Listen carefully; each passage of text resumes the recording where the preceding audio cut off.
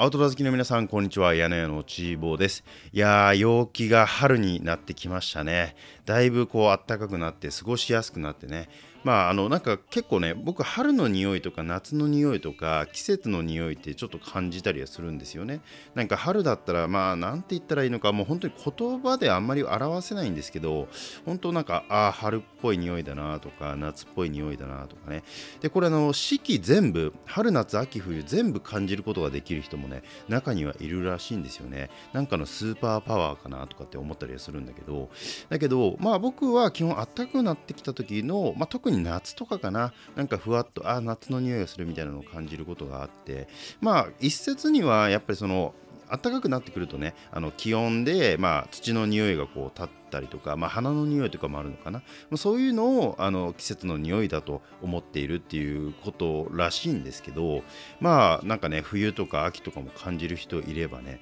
是非教えていただきたいなとまあ、あの野営地とかにね行って、まあ、あ春っぽい匂いがするなとか夏っぽい匂いがするなっていうのをこう感じながら野営をやってみるっていうのもまあちょっとこう風流じゃないですか。糸お菓子じゃないですか。なのでねこうまあ野営地に行ってそういうのを感じながらねやってみていただけるとなんかもっとこう野営が楽しくなるんじゃないかなとかってねこうふと思いながら、えー、この間キャンプをしてきました。はい。ということでまあだいぶねあったかくなってこうツーリングがしやすいということでまあ僕もこう街もねあの山もこうバイクで走らせている時にあそういえばと思ってこうバイク僕はあの250中面しか持ってないんですけど正直車の免許持ってないんですよ。早く取りやって話なんだけど。まああの中面の免許取り行った時合宿だったんですよね。で山形の教習所というか合宿所みたいなとこ行ってでその車の合宿とかもこうやったことがなかったのでなんかイメージとしてはですよ。完全にイメージというか偏見なんですけど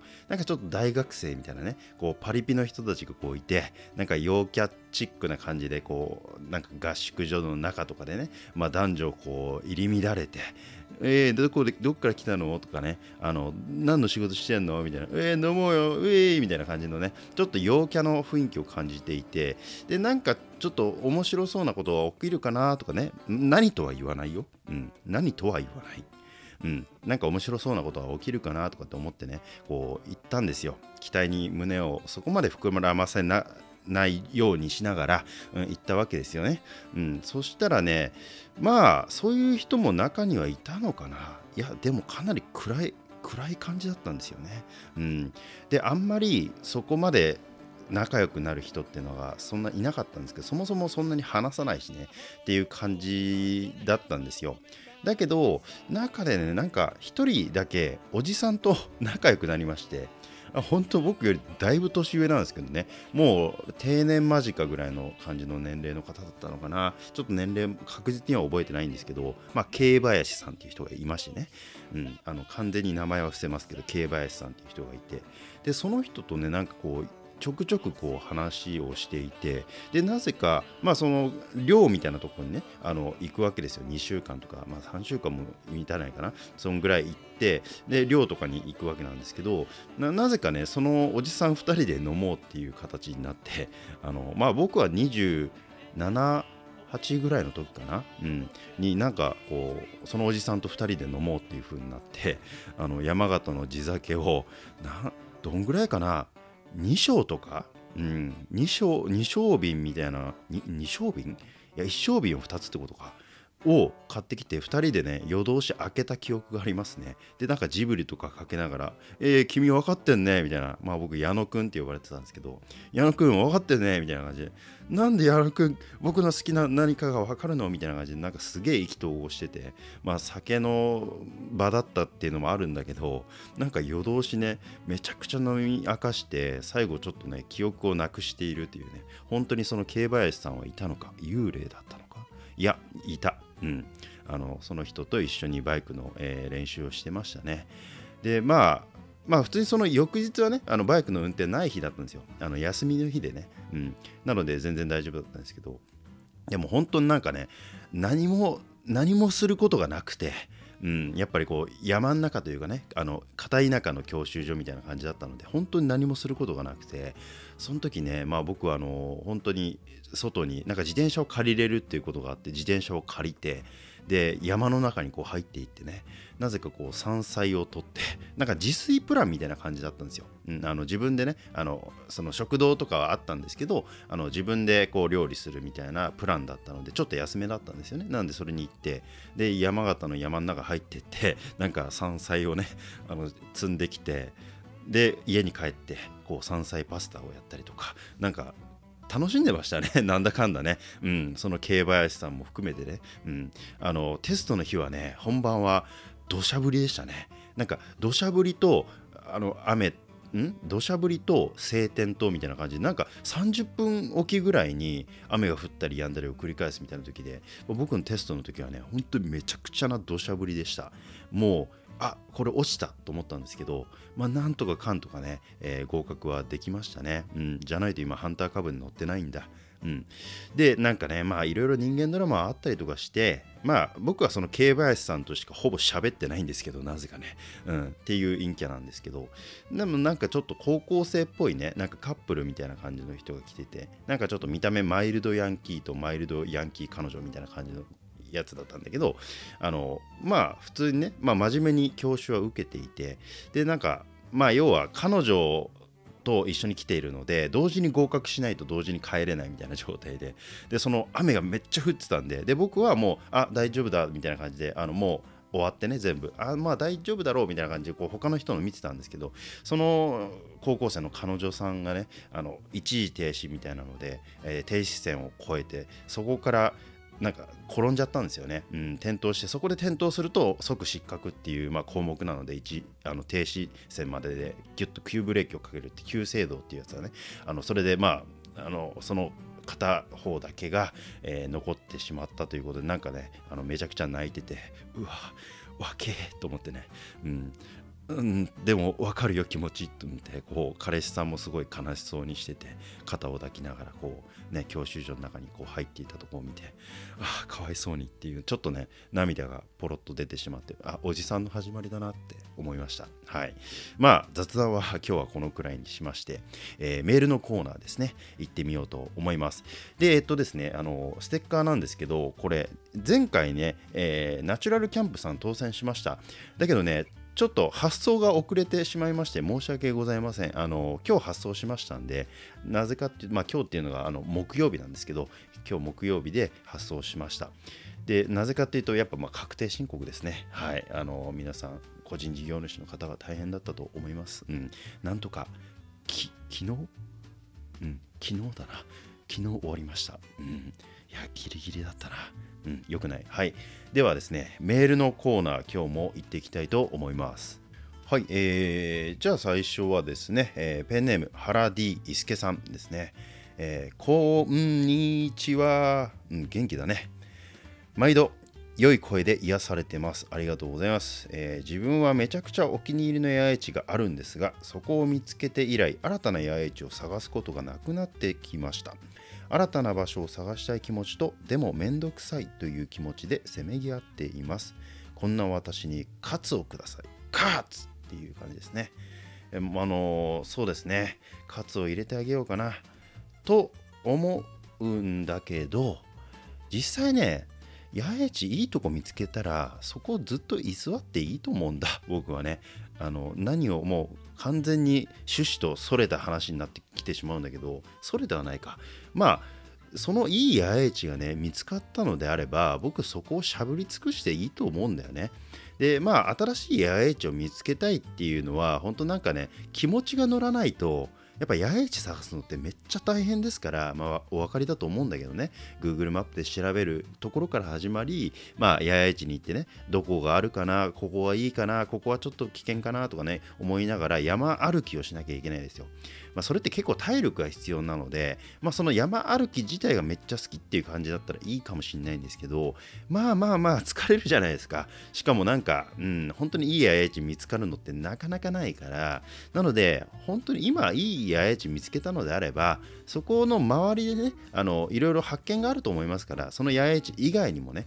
その近場でなんかちょっとこう暇な時に歩いてみるとかねあのテントを張って設営が終わった後に、えー、ちょっとこの周りを、えー、今日は数百メートル南に行ってみようとかあの今日はちょっと頑張って、えー、北の方に登っていこうとかねあの斜面を逆に下ってみようみたいな感じでその周りから、えまた何か見つかるかもしれませんので、えそういう風にしていただければればいいんじゃないかなと余裕がある時にね、うん、やっぱ気持ちが乗ってないと山歩きしんどいですから。なので僕はねあのカツは入れませんよ、うん、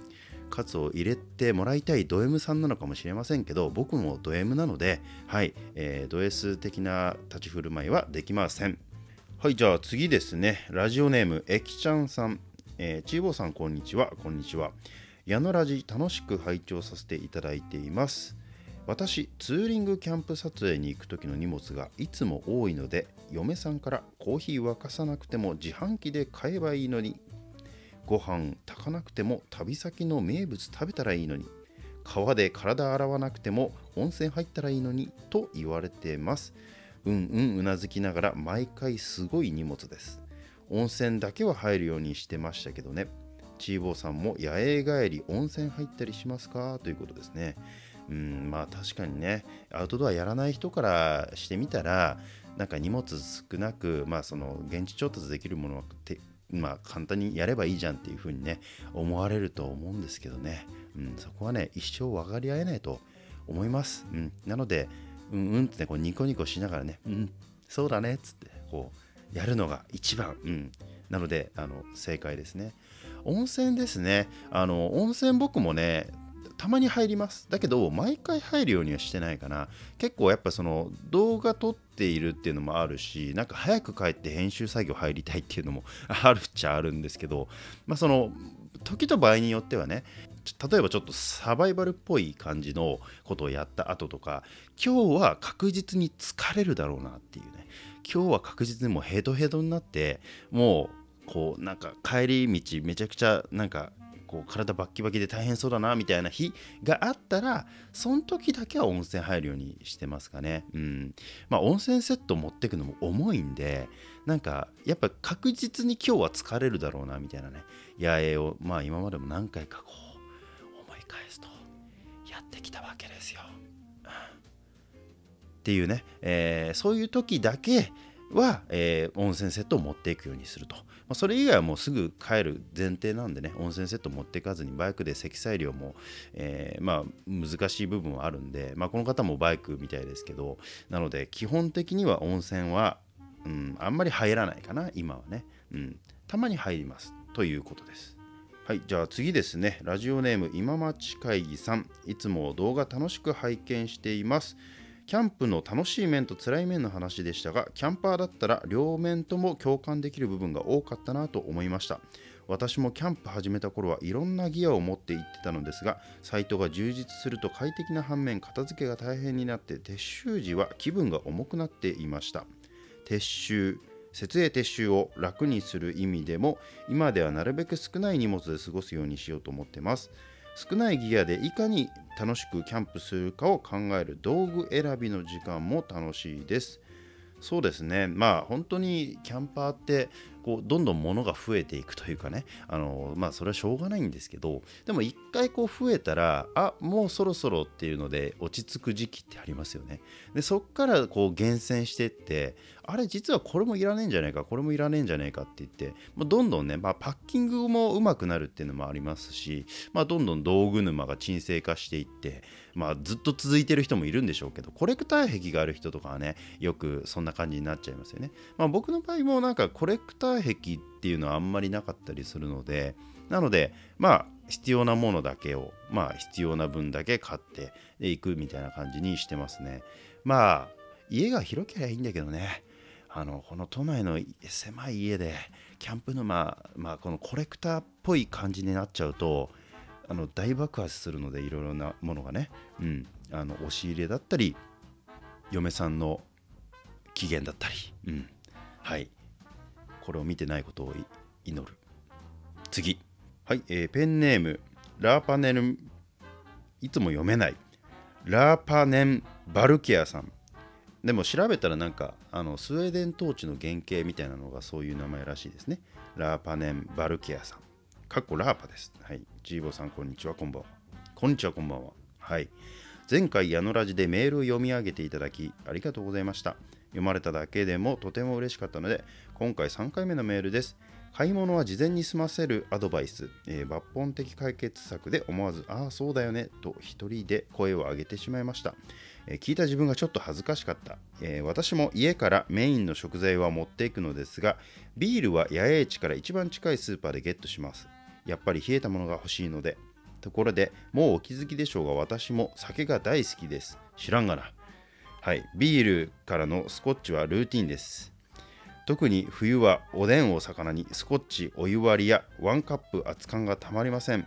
さらにスコッチ過去ウイスキーは装備軽量化にも一役買ってくれるので私のマストアイテムですまあ家でも毎日飲むのですがチーボーさんは八重地でどんなお酒を飲みますか？またおすすめの飲み方ありますか？ぜひ教えていただきたいです。よろしくお願いします。はい、えー、お酒好きの方ですね。この方もね。はい。まあ、僕もお酒好き、うん、お酒好きなんですけど、まあ、基本的にはそうですね、まあ、動画でよく見せてるんで、もうご存知かもしれないですけど、まあ、ビール、ね、なんかちょっとあわあわのやつ、ん？あわあわのやつってなんか、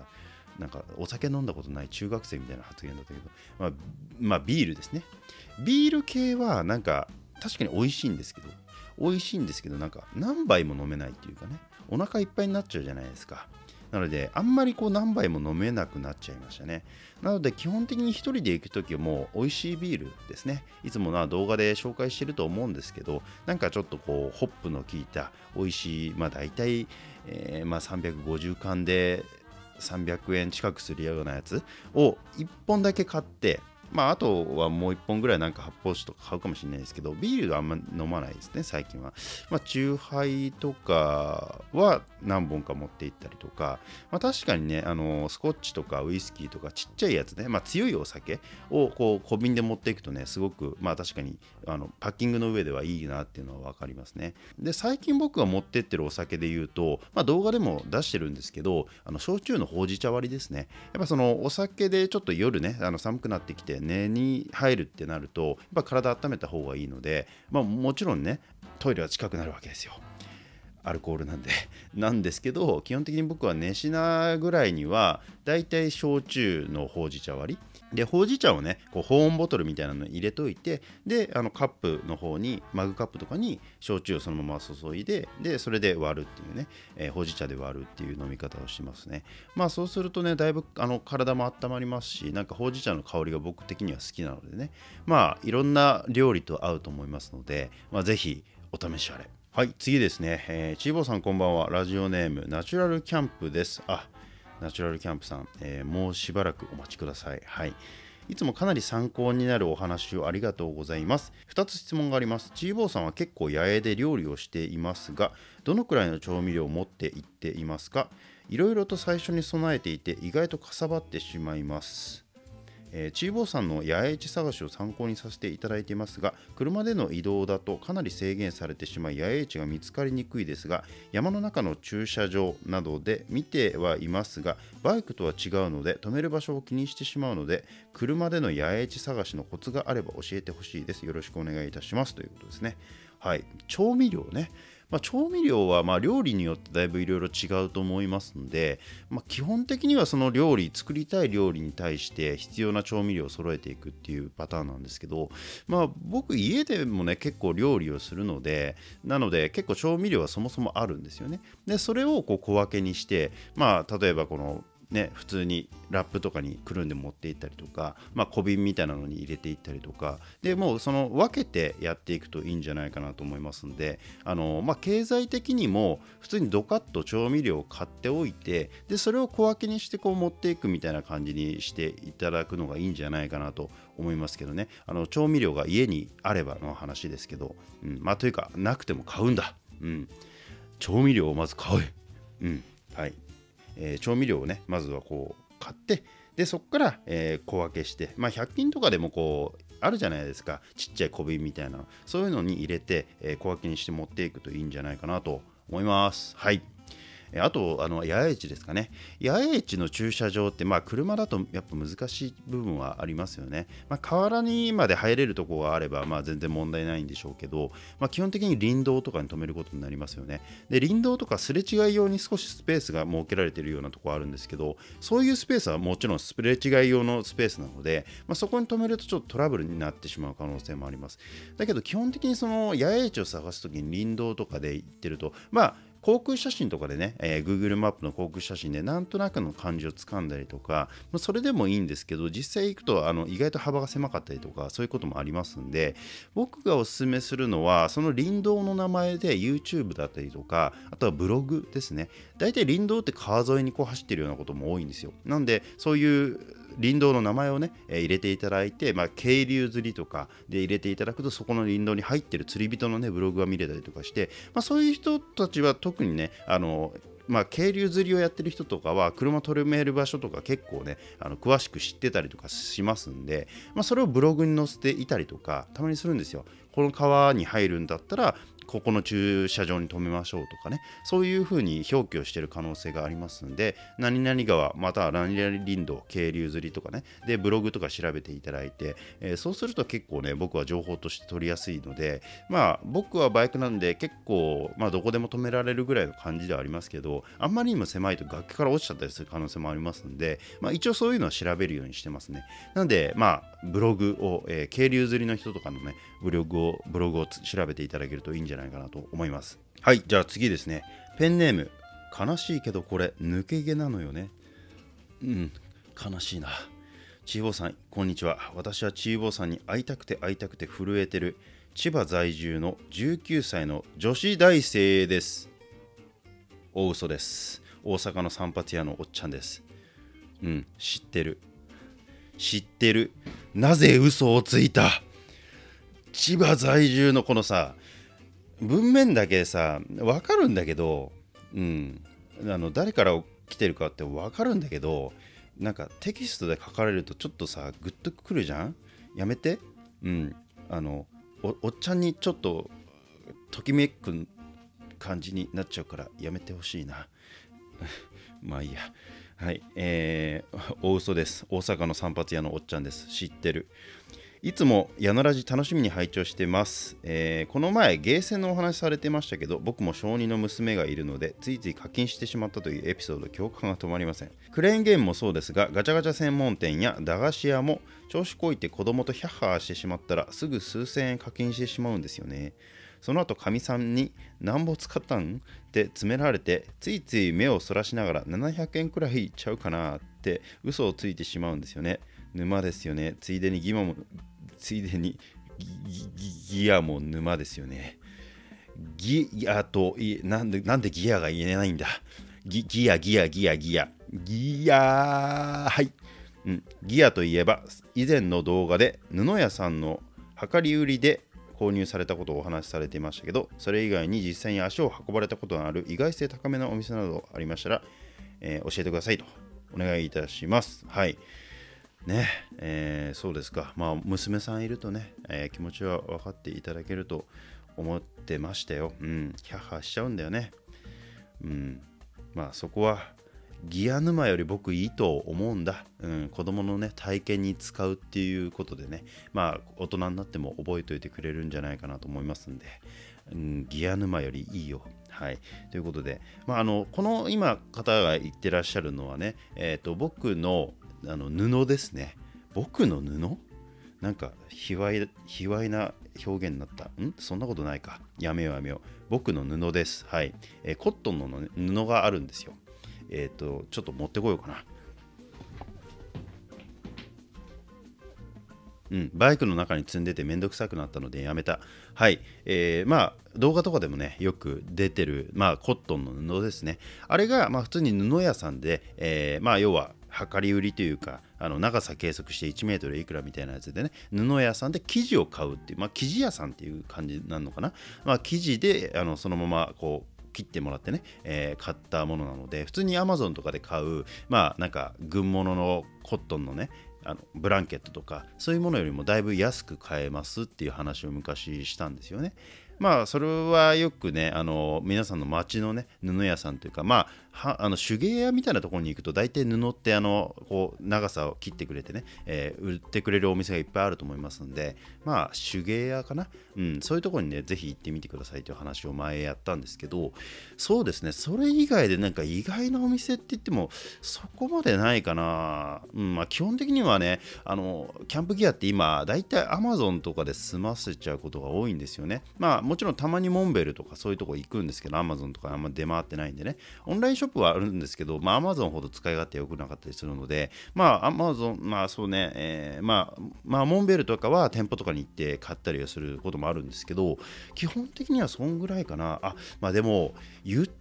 てみれば、強いて言うんだったら、その、まあ、ワークマンとかあるじゃないですか、まあ、ワークマンは結構おしゃれっぽく感じになっちゃってるので最近行かないんですけどなんかもう街によくあるちょっと安めの工具店みたいなやつあるじゃないですか。工具店とかよく行きますね。カラビナとかが安く売ったりとか意外とまあこれキャンプに流用できるんじゃね？みたいなのがまあ腰袋とかねあの道具袋みたいなやつがあったりとかねするんですよ。であこれをなんかあのなんていうかハンドアックスとかを手斧とかをガシャッといけるのにいいなとかこれなんか大工さんが使ってるような腰につけてるようなやつあるじゃないですか。ジャラジャラとしたやつね。あの中であのこれをナイフを入れるんだったらこれに入れればいいじゃんとかあのこれいい小物入れになるなみたいなのっていうのを街のそういうあの工具店みたいなところに結構品揃え良くてねあの置いてたりはしますんでまあ強いて言うならそういうところかな。なのでぜひあの工具店は行ってみてください。なんかキャンプギアのショップよりも心躍ることがあると思いますよ。特にその武骨系のギア使ってる人とかはねあのそれを使ってあこれいいじゃんとかね。あのその僕は腰袋道具袋が好きなのでよくそのつけてるんですけどポーチとかもそうだしあのポーチは Amazon で買ったやつなんですけどだけどそういうポーチとかも結構置いてたりとかねしますんでなんか行ってみてはいかがでしょうか？ということではい。まあ今日は、えー、お便りのコーナーここら辺にします。ということで、矢野屋アウトドアではこういうお便りのね、えー、コーナーを送ってきていただいて、読まれた方の中から抽選で毎回1名様に矢野ラジ特製防水ステッカーをお配りしております。なので、えー、こちら欲しい方、まあ、もしくは別にあのいらないんだけど普通にあのメール送りたいという方でも全然 OK です。あの送ってきていただければあのチャンネルの感想でもいいですし、まあ、さっきみたいにご質問でもいいですしね、えー、いろいろ送ってきていただければと、まあ、人生相談できるかどうかわからんけどうん、やってきていいよ。ちょっとあのね、えー、お家に幽霊が出たから退治してくれみたいなのは無理ですけど。はい。はい、あとね、1点だけ断っておくと、僕、字がめちゃくそ汚いので、あのミミズが張ったような字で来ると思います。なので、そこだけ勘弁して、はい。僕は、大体いろんな書類を妻に代筆してもらってるぞ。はい、中古って今日はですね、テーマがございまして、今日のテーマとしてはブッシュクラフトですね。野営とかの魅力とあと注意点について、えー、いろいろお話ししていきたいかなと思っております。皆さんね野営をこうやっぱ憧れるっていう人も結構いると思いますよね。あのもうすでにやってる人もまあ僕のチャンネル見てくれてる人いると思うしまあこれからちょっとやってみたいんだけどまだこう手が出ない足が出ないいろいろ出ないっていうね人がいると思います、まあ、そういう人に向けて、まあ、野営地、まあ、野営地探しだったりとか、まあ、野営そのものあとブッシュクラフトキャンプ的なものっていうのが、まあ、どんな魅力があるのかっていうこととあとはねそれをやるに対してこうちょっと気をつけなければいけない点っていうかね、まあ、注意点みたいなことを今日はねお話ししていきたいなと思っております。じゃまずですね、まあ、魅力の部分からね、いきますか、せっかくなので、ね、悪い点ばっか言ってもね、えー、じゃあもういいよってなっちゃう可能性もありますので、まあ、魅力として言えば、まあ、基本的にはやっぱね、その冒険心をくすぐられるというかね、やっぱりあのアドベンチャーなわけですよ。まあ、普通にキャンプ場とか行ってても、なんか癒しみたいな感じになるとは思うんですけど、リラックス効果みたいなのはもちろんあると思うんだけど、やっぱまあ、あの普通に管理人に、管理棟に行ってね、受付をして、えー、じゃあここの区画でとかね、あのまあ、もしくは自由に決められるところもあると思うんだけど、まあ、基本的にはこう人の手が入ったというかね、整備されたところに行くので、まあ、ちょっとこうワイルド味あふれるホテルって言ってしまえば、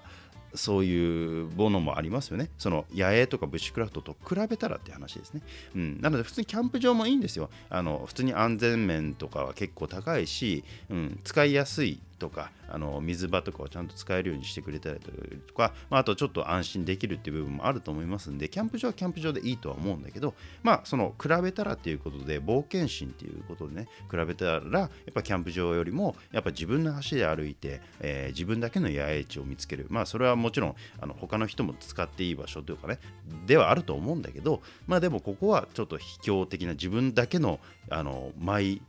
なんていうの？シャンバラ？なんだそれシャンバラっておかしいな。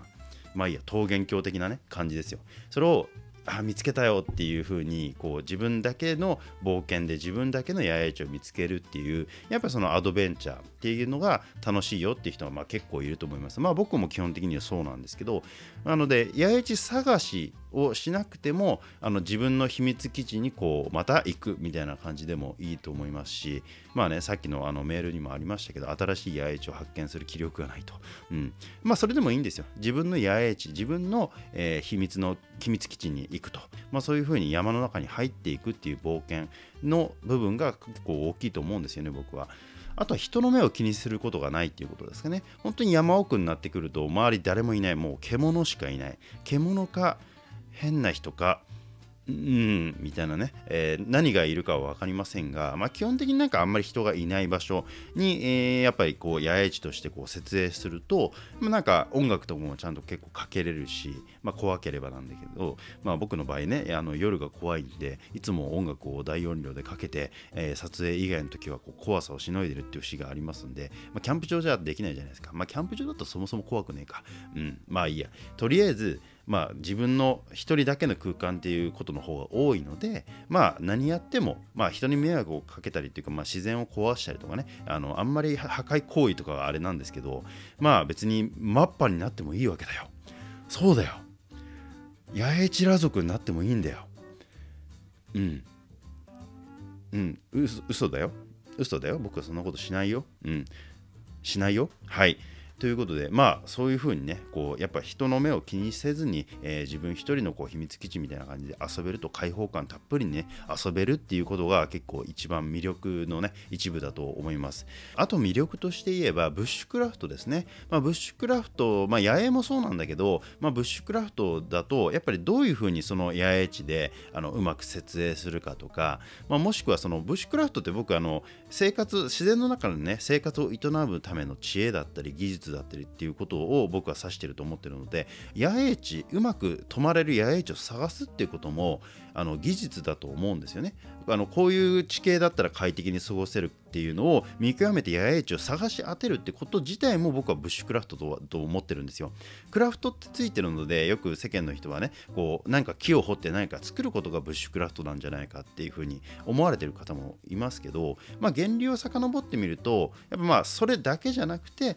まあその自然の中で生活を営むための知恵だったり知識まああとはその技術も含めて、えー、言ってることなのでなので野営地を探し当てることも、えー、危険な野営地を回避してある程度安全性を確保できるっていうねその場所を見つけることも技術だったりしますんで、まあ、そういうのも含めてやっぱ結構発想を楽しめるっていうかねこうしたらもうちょっと快適に過ごせるんじゃないかとかテントの下に落ち葉をね入れてみたらいいんじゃないかとかシェルターを作らなくてもブッシュクラフトって言っちゃっていいと思うんですよ。あのそこで快適に過ごせればいいと思いますんでまあいろいろね穴掘ってこう空気穴にしてみたりとかまあまあいろいろありますよね。なんかちょっと小難しいこと言い過ぎてもあれなんですけどまあそういうふうにいろいろ発想をこう巡らせてでそれをこう作ってうまくいった時の達成感、うん、っていうのがかなりあるかなと僕も思います。僕もいろいろ企画でねチャレンジ企画とかでいろいろシェルター作ったりだったりまああとや例えば昔やった動画で焼け石、えー、焚き火で焼いた石を寝床の下に埋めてでその上でこう床暖房みたいな感じで寝たりとかそういう回もありましたけどあれもめちゃくちゃこううまくいって朝めちゃくちゃいい達成感がねこう込み上げてきたというかああやっぱりこう昔の人の知恵ってすげえなとかね。まあまあそれも僕が考えた完全に考えたことじゃなくて、まあ、昔の人もそういうふうにねこうやってたっていうことも僕は知ってるのでそれを再現してみたら本当にできたっていうこう達成感だったりとか、まあ、そういうのがやっぱりすごい野営とかブッシュクラフトキャンプの、ま魅力だと思うんですよね。うん、なのでまあ本当に自分一人でいろいろやらなきゃいけないので大変っちゃ大変なんですけどだけどまあそれを完遂できた、まあ、ミッション的な感じであの山の中入ってで一泊してうまくこう泊まれて帰ってきたっていうそのミッションの達成感っていうのはやっぱりキャンプ場に行くキャンプとはまあ比べ物にならないかなということで、まあ、それが本当に独特な野営だったり、まあ、ブッシュクラフトだったりの楽しさ魅力だと僕は思います。はい、あとはね注意点というか気をつけなければいけないことですね。もちろんその野営地探しをする上で危険な野営地を見抜くっていうことですね、まあ、それは大事なので、まあ、そこちょこっとなんかそこまで全部話していると時間が足りなくなっちゃうので、まあ、過去にいろいろ動画上げてます。あの危険な野営地あの避けるべき危険な野営地だったりとかね、ま、そういうのを上げてたりはしますんで、ま、そっちをぜひ見ていただきたいんですけどまあざっくりとした注意点、まあ、これから始めようかなっていう人が、ま、注意すべべき点っていうのはまあやっぱりねあの野営もやっちゃいけない場所とやっていい場所まあもしくは結構グレーゾーンなんだけどまあまああのやってもそこまで問題がないという場所っていうのが結構その場所問題っていうのがありますよね。例えばキャンプ禁止とか焚き火禁止とかそういうのをこう河原の注意書きで書いてるとこを見逃しちゃってそうするとこうそこ通りがかった人とのねトラブルになる。まあ普通に怒られて終わりなだけだと思うんだけど、まあ、基本的にはそういうトラブルが発生して、まあ、またねこう僕たちのこう野営っていうこうなんか遊びというか遊び場自体がねあの縮小されるあのどこでもやっぱキャンプ禁止だからそのマナー違反者がいるからそういう風になってきてしまうっていう節はあると思いますんでなのでまあ基本的にはその看板だったりとか禁止の場所っていうのがあるんですそれを書いてなかったとしてもあの、まあ、結構ダメな場所だったりとかもあるんですよ。まあ確実にここ私有地だなみたいな場所があったりとかするのでそこをね見抜くまでが結構大変なんですよねなので、まあ、最初にこう野営をしに行くっていうのもいいんですけどまあちゃんとこうね一番最初不安だったら市に確認を取ったりとか所有者確認してみたりとかあとはもう何回かそこの周り行って地元の人にこうすれ違ったら聞いてみるとかね、まあ、そういうので結構徐々に徐々にこう始めていかないと、まあ、トラブル発生する可能性はありますよと、うん、で僕もねこう野営やってるとなんかこういう動画上げてるとなんか周りの人が真似し始めてまたマナーが悪いやつらが増えるみたいなねことを言ってくるやからもいるんだよ。うん。いるのよ。だけどお前に関係ねえじゃんっていうねあのことなんですよ。もう本当に人は人あの自分は自分なのでよく言いたがりがいますけど、まあ、そういうのはねマジで無視してます僕は、うん、皆さんもねそういうのは無視していいと思う。あの全く関係ない第三者の声っていうのはね。だけどまあ例えば普通にあの人と人なんであの法律で絶対ダメって言われてるところだとで恋にやっちゃったらダメですよ。だけど本当に分からなくてここだったら大丈夫そうだろうっていう本当に山奥の川とかでねやっててあ実はここあの私たちの所有地なんですとかっていうふうに言われたとしたらそんないきなりね斧持って突っかかってくるみたいなねあのそういうなんなんなんて言うんだ都市伝説にありそうな犬鳴村の住民みたいなね鎌持ってこう追っかけてくるみたいな人がなかなかいないと思うんで普通に注意されたらああすいませんとあのこれをやあのやっていいか分かんなかったんですけどあの今すぐ片付けてきれいにしてなんならあの近くのゴミも拾って帰って二度とあのここではやりませんのでっていう風な話をしてちゃんと誠意を持ってやってれば、まあ、人間対人間なんでねあの大丈夫だと思うんですよ、まあ、法律的な建前を言うとこれ難しくなってくるんだけど絶対に看板が立ててダメだっていう風に言われてるようなところに入ったりとかなんかそういうところに入っていかなければあとは柵の中に入無理やり入ったりとかねしなければ基本的にはそこまで問題はないと思います。それはもうもちろん自己責任でやっていただきたいのでチーボーがやってたから大丈夫っていうふうに思わないでいただきたいんですけどあとはもうその本当に当事者同士の話なので、うん、っていうことですね。あもうそういう近隣住民トラブルっていうのは本当にその場所によってはやばいこともあるので、えー、旦こう頭の中に入れておくことは大事だよっていうとこまでは言っておきます。うん、まあやっぱあとはいろんな危険があると動物の危険もそうだし、まあ、焚き火のね、えー、まあ本当に技術がないとすごい炎症してしまって山火事につながったりとかっていうこともありますので、まあ、そこら辺の技術はもともとやっぱしっかりこういろいろ調べたりとか、まあ、キャンプ場で技術を磨いてから行ったりとか、まあ、動物はどういうふうにすれば寄ってこないもしくはこういう動物に出会ったらどういうふうに対処するとか、まあ、そういうことを、いろいろ考えてやってみていただければと思います。なのでそうしないと僕みたいにねあの外にドーナツとかを出しておくと鹿とかに食い破られて ドーナツが散乱してるみたいなことになりかねないので、うん、それはただ忘れちゃっただけなんだけどね、うん、まあそういうこともありますよということで、うん、まあいろんなね危険は本当にあります。なので自分自身で対処しなければいけないと。キャンプ場とかだったらある程度人がいるのでねすぐ救急車呼んでもらったりとかまあいろいろ対処ができますけど大体山の中一人でボツンと野営をすることになると思いますんで、まあ、救急車でも入ってこれなかったりそもそも電波がつながらなかったりね、まあ、そういういろんなリスクを考えてさまざまなことをこう頭の中念頭に置いて自分の全責任を自己責任として、えー、身に受ける覚悟で、まあ、やっていただきたいと、まあ、そこまで覚悟覚悟っていうとあんまりねあのじゃあいいかなってなっちゃうと思うんだけどまあ危ないから気をつけてよってことですね。うん。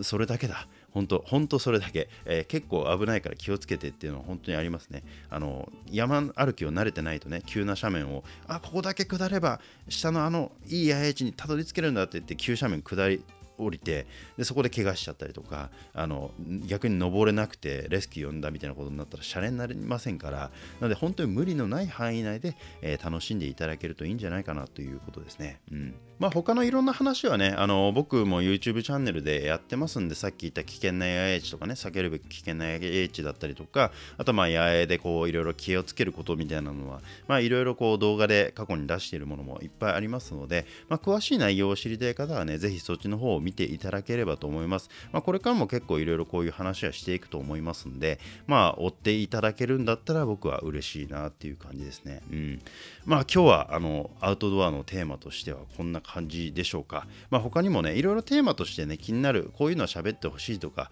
まあ、そういうことがあったらコメント欄で送ってきていただいてもいいですしまたお便りのコーナーでもお待ちしておりますのでぜひぜひよろしくお願いいたします。はいではお待たせしました。皆さんステッカーの抽選のお時間でございます、えー、ウェブルーレットを今回も使ってやらせていただきますね、えー、今日は誰が当たるのか、えー、楽しみですね。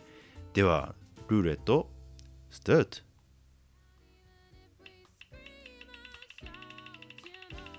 ん。ん。さあ誰だ？誰だ？おお今日は原ディースケさんですね。おめでとうございます。